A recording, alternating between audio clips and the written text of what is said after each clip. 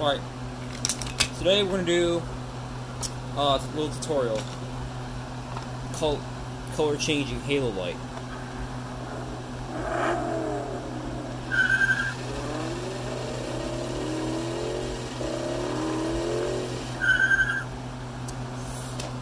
Now, the reason I did one already is because I wasn't really sure how it would work yet, or how, if it would even work at all, but it did.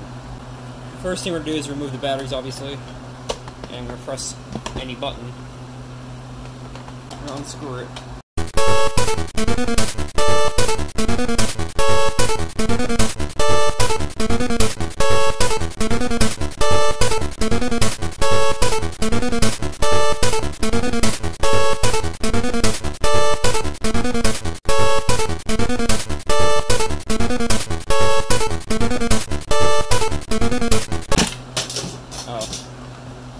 It open. They put the new LED right here.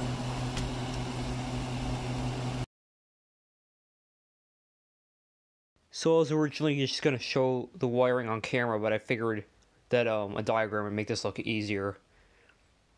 So this is for the first LED for the headlight. Now this next step is very important. This uh, this tutorial is for LEDs with the common cathode. So, if yours is, has the common anode, you want to reverse the polarity of all the um, mentioned wires that I used. So, step one, connect the negative battery wire to the uh, common side. Step two, put the positive light wire to the red side and put a resistor on the red side.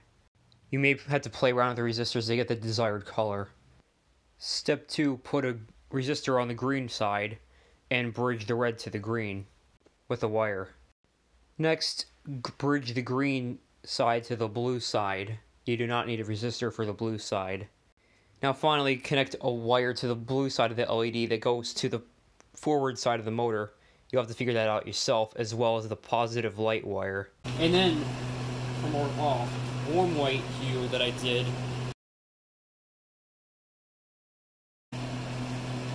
It's our ground wire right there. So red, that's the uh, headlight wire. Then it's bridging to the green to get our yellow, and then blue to get our white from the motor. Which that blue side does have a resistor. Well, we're gonna go with the cooler white because that's how I had it.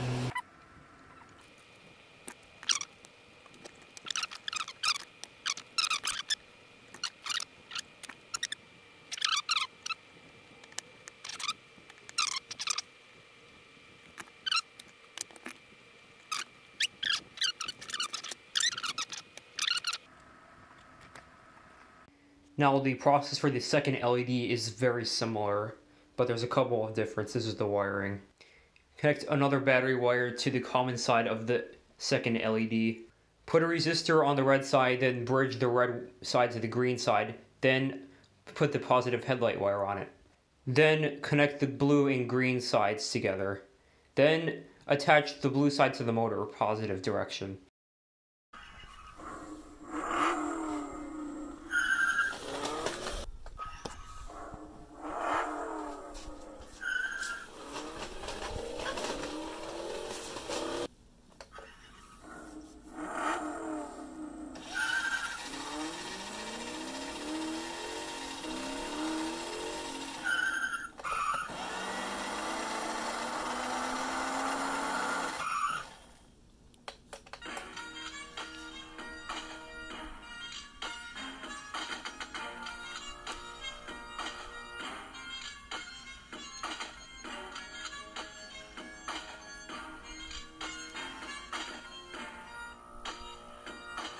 Now, if you want to see more applications with the RGB lights, I can show you more.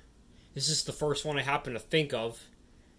And like I said, you can't adjust these so if they're not yellow enough or whatever, you can change the resistance to one side. But because there's two lights, it kind of throws it off. Anyway, thanks for watching. I hope you enjoyed this tutorial. It's the first of is the first tutorial I've made, and I don't make them that often because sometimes it gets frustrating. But yeah, there's my shot at a tutorial.